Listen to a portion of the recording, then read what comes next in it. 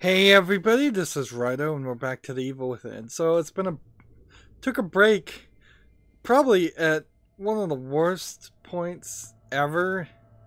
You could take a break.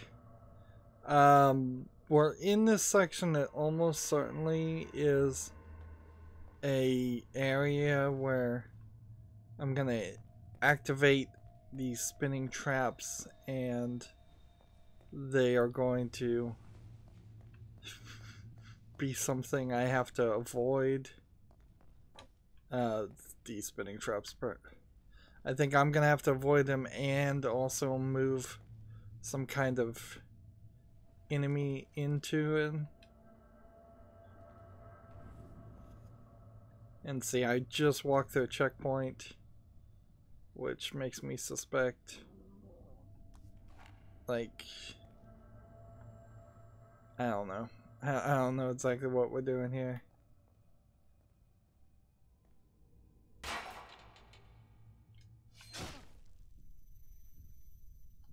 Hmm. Interesting. Well, a lot of quick and instant deaths have been happening lately. So here's here's the deal with what just happened. I turned off the light. In the darkness, you cannot see these lines. They seem, the tripwires in particular, as a rat runs by, seems to be specifically programmed to not be visible when the lamp is off. But then I have a slight feeling that the if when the lamp is on, you are convincing enemies to come towards you. Hmm.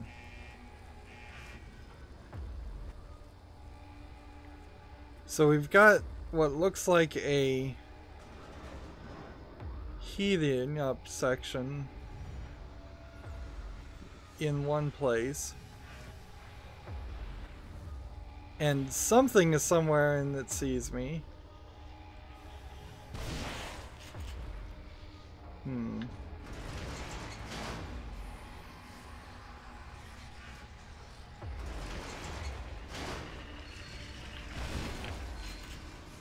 Hmm. What does this do?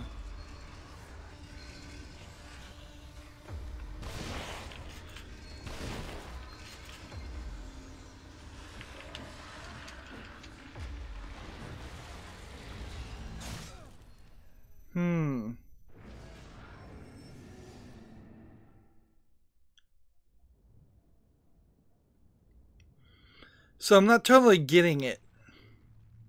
Like I, I'm I'm not totally getting what I'm supposed to be doing here. Let's say we switch over to our explosive bolts and we crawl down here and we have to dismantle this. We have to do this. And it almost seems as if there's.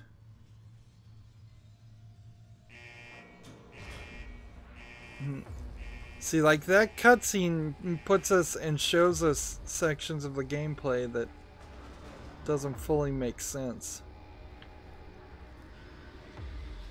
And they won't just crawl into that they won't just walk into these these sections.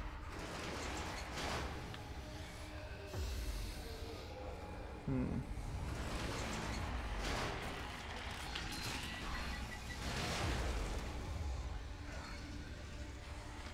Like, what is this doing?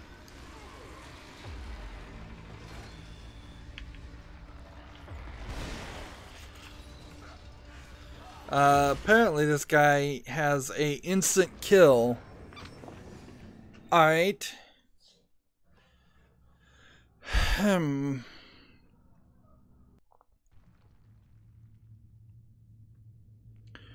So shotguns, and then when he gets around, we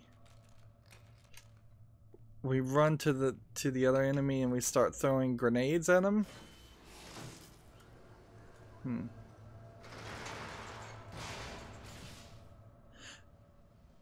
Hmm.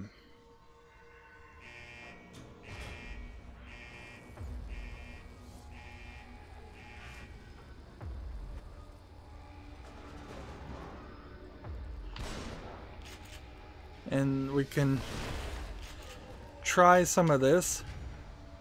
How many bullets, uh, matches do I have?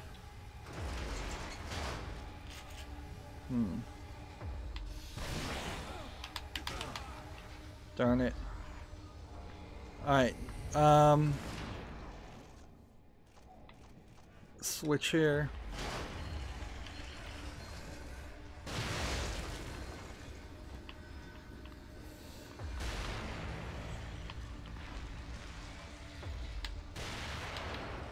Let's run past this guy. Blow myself up on it while I'm at it.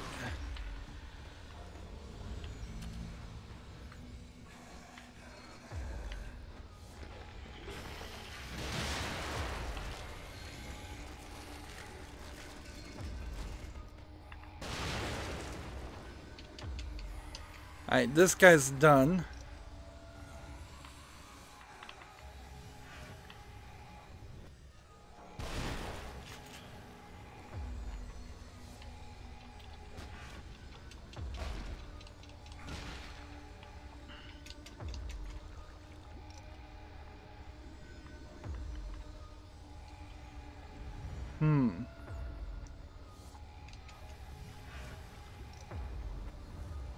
So we got our spinning sections here. And that just seems like it does not move up until later. So... Will this go back up? Yes, it will. So I'm gonna have to crawl and kind of run.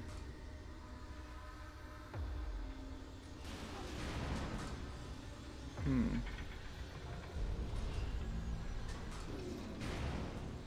And one assumes that there's nothing special secret back there. Um, if I run into another massively powerful guy, um,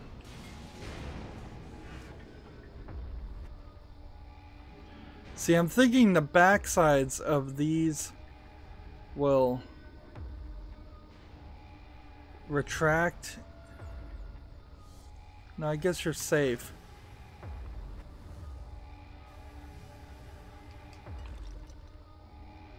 Hmm.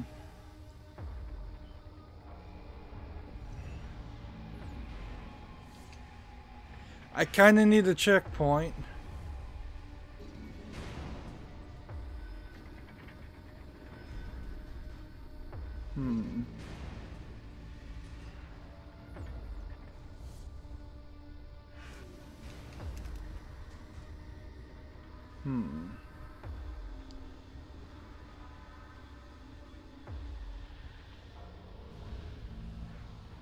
Yeah, if I just end up fighting another big guy, I don't have any, I only have two more explosive grenades.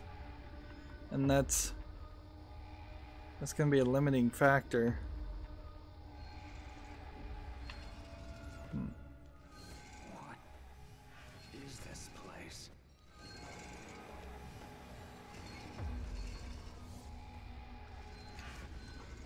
Suppose there's definitely that's a valid question except for the fact that we kind of already know what this place is.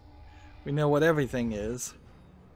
It's a fiction. It's a merging of at least three psychotic, I would argue psychotic individuals, uh, mines. Alright, so there we got a checkpoint. I'm happy for that. I don't want to use the stim pack right now because I'm kind of in a have a little too much health for that. I still want to get goo.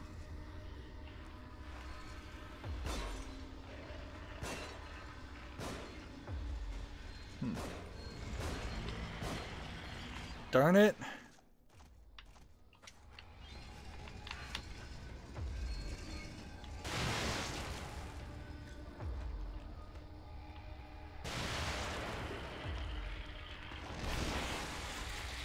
Good news is I think this guy might be like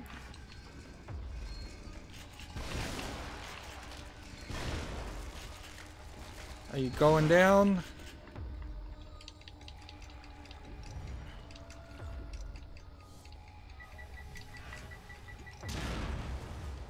There we go.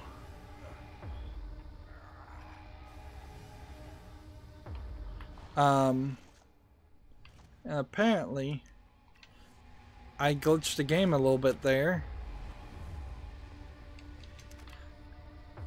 There, there's just not enough bullets in the game to take on these type of enemies consistently. Like, this has to be the end of this section, and I cannot break this without coming at a different angle.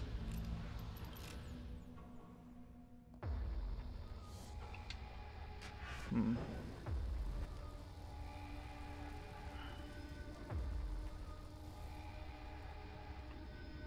And I don't think we're far enough along. And I, I don't know how to also adjust for things like that wasting matches.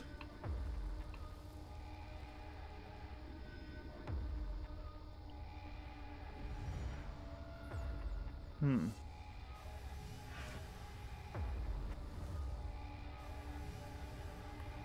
Let's bring out the light, I suppose.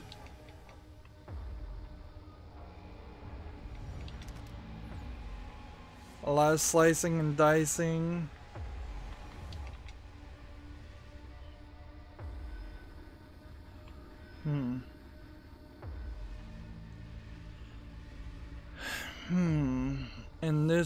I think, is going to...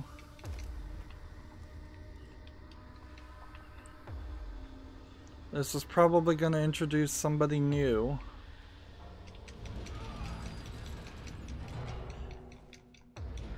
Either that or this was only here as a way of blocking you from reaching this point until you had cleared off cleared out the previous section. I guess that's what I should take from that. And there you have a out of place light. Some goo. Some more bolts. Hmm.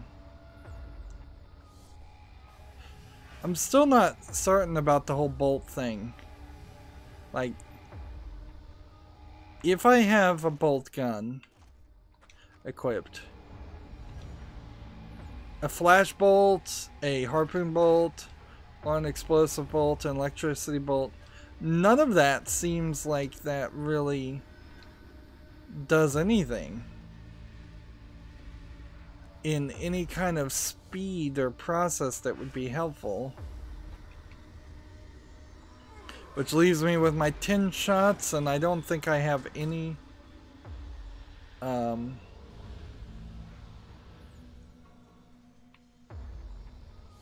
Is that just gonna stay up there? Can I really crawl through this? I mean, this Wow, I mean, that's like pixels worth of space. I would have not believed that that was doable. And see, now we're back to where we started. We've gone full circle. And I kind of think like this door I think would take us in circles back to where we we were in the first place so I don't think there's a reason to do that unless we have to actually run a full circle a second time and these bottles are jokes this is where we turn the battery on. And it's kind of a confusing layout for, for um, a level. And through here we go. And we'll see if there's any booby traps. Or any more monsters.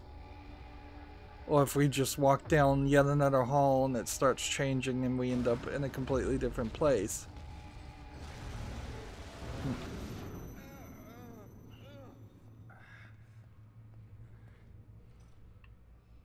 And they went with it completely changes. So then they're kind of introducing the idea that the monsters themselves might have the ability to swap you into different realities. Uh, unless there's some brain connection here that is moving you out of harm's way. Uh, and see, now we're kind of not in a torture section as much as we are now in half facility, half house. and we're moving towards wheelchairs, which then gets us back to the hospital. Hmm. And every time you burn one of these bodies, you gotta wait forever to see if they drop anything, and in that instance, they didn't. Of course, that would have been a a good point for it to have dropped something. Uh, well, or at the very least, that's a good point to drop to burn a body so it doesn't jump up on you.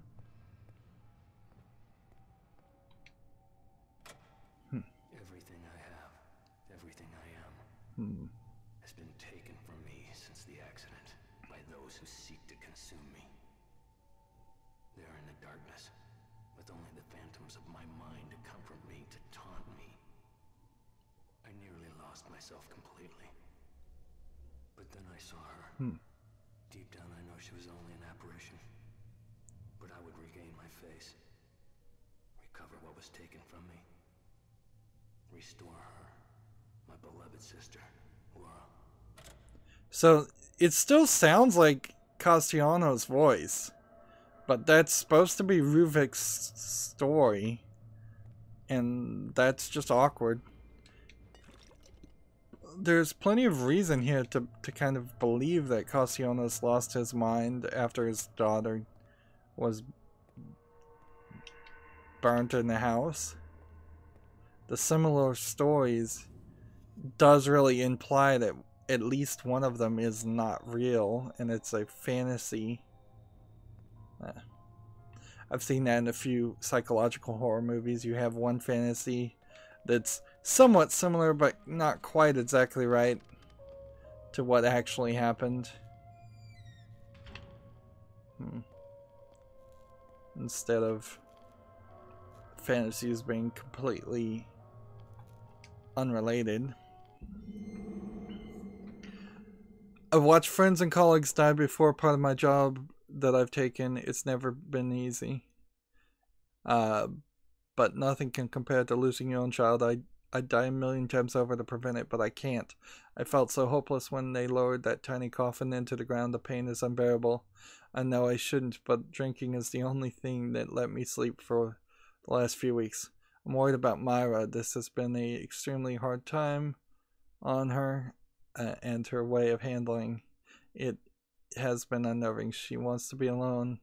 She's taken to staying up all night. She says she's doing work to keep her mind off the tragedy, but she seems to be closing herself off to the world. I know what tends to happen when couples lose a child, and I hope we're strong enough to avoid it.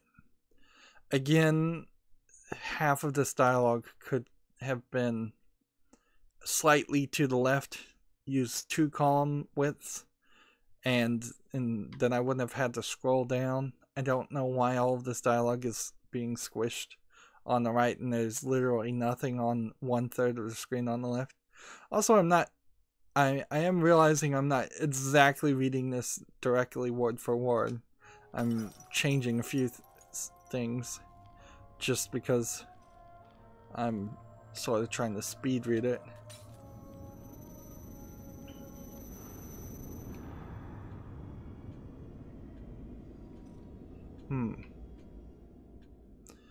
Game is doing a pretty excellent job on no longer making me safe, feel safe in the safe room.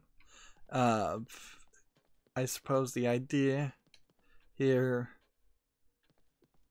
this wouldn't have worked if it weren't for the fact that they established uh have you forgotten something like if they hadn't established this as a safe room in the first place I you wouldn't have fallen for that hmm. missing Patrick Higgins lawyer for the Victoriano family last seen meeting with the man believed to be a client hmm so it seems like Ruben slash Ruvik was killing a lot of people. Home destroyed by fire, daughter of police officer among victims. The body of the Lily Castellanos 5 and babysitter Unita Flores were found uh, in Chart Home. Both the child's parents are police officers and were on duty at the time police are investigating as a possible arson. I thought I had already read that one, but it's possible that I didn't save after reading that one. Hmm. Let's see if this door is still locked. No? It's it's open now. Seems like it decided to to lock and unlock itself for no reason other than probably just to be creepy. We're not making a lot of progress as far as all the map fragments. I'm I wouldn't even be surprised if it turns out you can't get all the map fragments in one playthrough and you have to play a second time and collect the same things at the same places just twice over. What's in this one? 5,000 or 7,000? 5,000, not terrible. But 5,000 really is the default of goo that you'll get. And there's only a few places where you'll get 7,000. So this one and let's see if I can remember. Uh, I believe there was one either on the left or right of this one that uh, we were supposed to get, and then I think number three was the 7,000. So at the very least, I would say don't start on the top row, start on the middle row. It will give you several thousand more goo, or it should. I could be wrong about that. But frankly, you probably should use a map, uh, a walkthrough strategy guide to get as much goo as possible so you can upgrade as much as possible. Hmm. There's a lot of booby traps and instant kills there, which kind of just tells me I don't probably need to deal with that. In the end, getting a life gauge to the maximum is not a terrible thought, and syringe recovery up a little bit more probably wouldn't be a terrible thought either. Uh, right now I'm low on shotgun ammo and I think I'm low on sniper rifle ammo, so I don't think it would make sense to get any of those. Uh, in trying to increase the explosive bolt weapons, it, that might eventually explain away and make more sense. Uh, but What if we just increased the handgun ammo? We're getting, we've been pretty consistent on handgun ammo. Uh, let's see. So, yeah, it, it really comes down to do I want to increase the, the life gauge or do I want to increase the, the amount of damage I want to do? And in almost every instance, when that's the case, I want to increase the amount of damage I want to do. So 200% damage with, let's see, a full clip capacity and a increased fire rate and that leaves me with 100 hmm.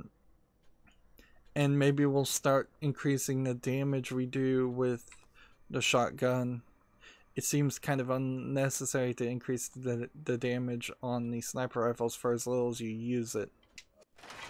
Hmm.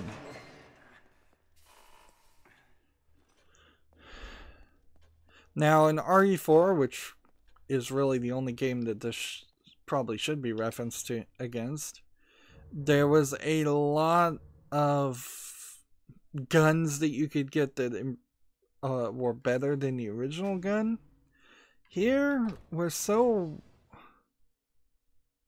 so far along, it, it would be kind of unlikely that we run into any any gun replacement over a revolver.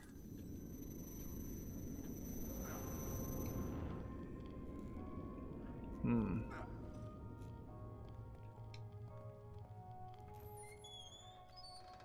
Hmm. I also have a slight concern that maybe the shotgun just does three or four times the amount of damage that a revolver does shot does regardless of it being upgraded or not. If there is an equation to like that level, then I don't know how you fix that. So we've got a hair creature crawling around, but it seems to be encased and encaged. If anything, I might just be able to activate the fan and kill it. Yeah, and maybe this is, is a path to get some pot shots off on her. Hmm. And it seems if I go down this way, I'm trapped in there with her. So is this a completely avoidable boss fight?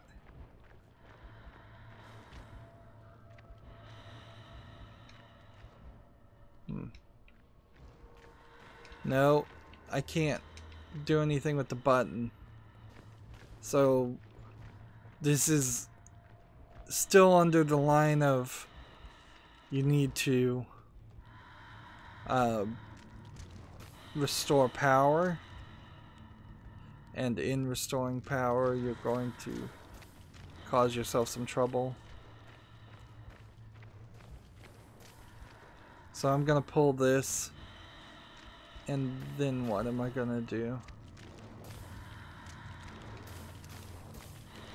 Maybe try to run for that. Hmm.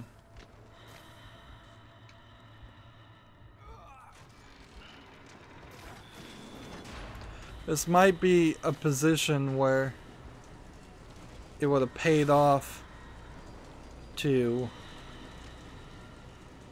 come on it what might have paid off to to increase my sprint after that previous section and when sprint would have been helpful. Is is it following me or is it just kind of running. Hmm.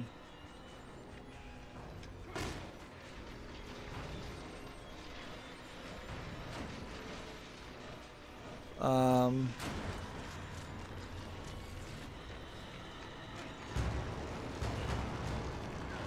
yeah, I don't think so. Not those giant hands. So I missed another thing of goo, but I, I suspect some of these goo sections, uh, the collectible goo things. Here's a typewriter reference to the old Resident Evil games in which you had to use a typewriter to save. Of course, you have to basically use the save point, the safe room now to save, so it's effectively the same thing. Hmm. So, further we will go. Um, maybe we will fight another hair monster. Maybe not. Maybe it's just a callback. When we look at where we are in the game, some references to some of the other enemies kind of makes sense, but interesting. I have two fragment pieces right back to back, which I don't I don't get that. It, it seems like there there must be entire secret areas and sections that I'm missing. And that'd be crazy if the evil within had me like hallucinating doors being locked in, in the first playthrough and then the second playthrough it you you you find the doors are actually weren't locked and there there's more things to collect and find. Newspapers were doing pretty good, and except for I've missed a couple. Uh, missing posters seems like we missed a couple.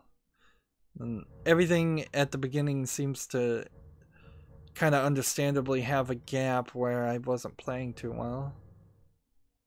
Hmm. Yeah, I think we may just get another battery pack. So right about here is where I missed a part of the map uh, early on, and there's probably some collectibles there. Yeah, we're in chapter 10, The Craftsman's Tools, and it's been going on long enough that I wouldn't be surprised if there's just a little bit to go. I also wouldn't be surprised if there's a boss fight. Uh, actually there's kind of nothing this game could do that would surprise me at this point because everything seems like it's on the table. Sometimes you're taking on several smaller enemies, sometimes you're doing traps, sometimes you're taking a boss on. That's going to be it for this recording though. As always, I ask you to like, share, subscribe, comment, and watch every second of my videos. If you want a friend or follow me on basically any social media sites, there's a whole bunch of links down below. Thank you for watching. Have a good evening.